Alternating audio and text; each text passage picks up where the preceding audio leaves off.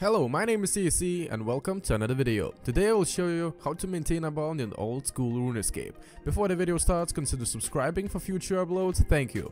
Tip number 1. Buying beer tankards. You can expect to get around 500 to 700k GP per hour, but realistically I would say that 500k per hour is achievable. To be able to do this method you will need to, to do quests, Troll Stronghold, Death Plateau, the Fremennik Trials, started the Giant Dwarf quest, Fremennik Diary Easy. The only thing you need to do is to buy beer tankards and sell them to Grand Exchange, simple as that. Tora the barkeep in the Rellekka Long Haul Bar sells the beer tankards for 26 to 52 GP per tankard. The tankards have no practical value, their value is exclusively a function of demand by collectors and speculators. This method purchases beer tankards from the shop and deposits them via peer-to-peer in the Rellekka Square. Approximately 100 inventories per hour are possible. Your tankards are not selling in Grand Exchange, just lower the price a little bit and wait for them to sell, don't be in a rush.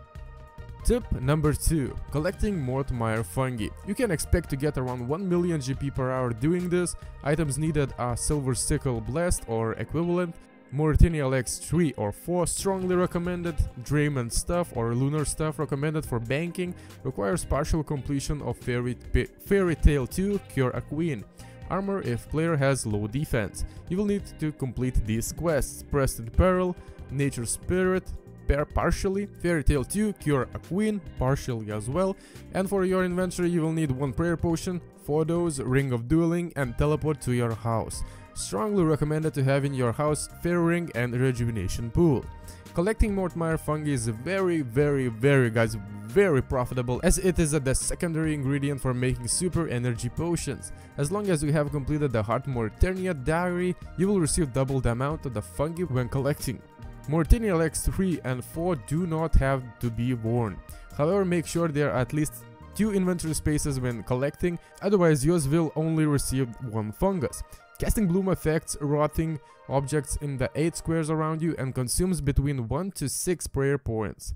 You should use a location surrounded by 3 rotting logs to increase the chances of obtaining Mort myre fungus. There is a 4 log spot south of Port Phasmatys as shown in the image.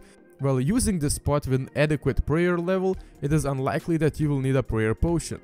First use the fairy ring network to teleport to BKR, run west until you see 3 rotting logs, stand in the middle of 3 rotting logs and cast Bloom. Mort myre fungi will not spawn every time, always pick the northern log last because when picked you will return to the middle, removing the need to click back. After a full inventory, use the Fairy Ring to bank in Zanaris and repeat. If you have less than half prayer points after banking, drink a dose of prayer potion. With Hard Morytania Diary, Rejuvenation Pool and Fairy Ring in your house, you can expect to get around 1 million GP per hour, which is really great guys. Tip number 3. Casting Super Glass Make with Giant Seaweed. You can expect to get around 800k GP per hour with this method. Items needed are Smoke Battle Staff or Tome of Fire plus Staff of Air, Astral Runes, 18 buckets of sand and 3 giant seaweed each inventory. Request in Lunar Diplomacy because we will be using spells in Lunar Spellbook. For your inventory, you will need to have 18 buckets of sand, 3 giant seaweeds and 2 astral runes. Of course, bring more astral runes because you won't be making only one inventory. The Super Glass Make Lunar spell can instantly turn your, an inventory full of sand and seaweed or giant seaweed into molten glass. On average, it will make 1.3 glass for every sand seaweed pair or up to 1.6 glass per sand with giant seaweed.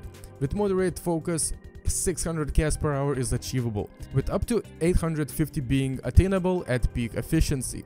This works out to around 100k to 153k crafting and 46 800 66,300 magic experience per hour. Withdraw 80 sands and 3, three giant seaweed. Close the bank, activate the spell, and then bank a few ticks before the end of the animation. For the best rates, ignore any dropped glass as this will still yield 0.15 extra molten glass per bucket of sand compared to regular seaweed. Tip number 4. Buying monkey nuts, you can expect to get around 700 kgp per hour doing this.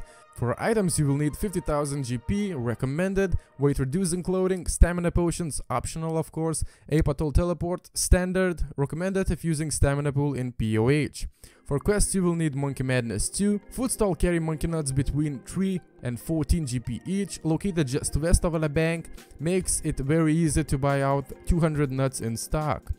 Solihib will only trade you if you have a Monkey greegree equipped, which only requires partial completion of Monkey Madness 1. However, to access the island bank, you must have completed Monkey Madness 2 quest, also removing removing the need of a greegree. These nuts are only used in paying a gnome to protect your spirit tree, making the price of this delectable highly unpredictable. Tip number 5. Tanning Red Dragon Hide. You can expect to get around 500 kgp per hour. For items you will need 10 million plus GP is recommended. Of course, guys, you can do it with a lower amount, but it will be more frustrating. But yes, you can do it. But my recommendation is 10 million GP. Weight reducing clothing, energy potions optional, and of course red dragon hides. No quests or skills are needed. Red dragon leather is used to train crafting and it is always in high, high demand because red dragon hide must be tanned into leather before it can be crafted.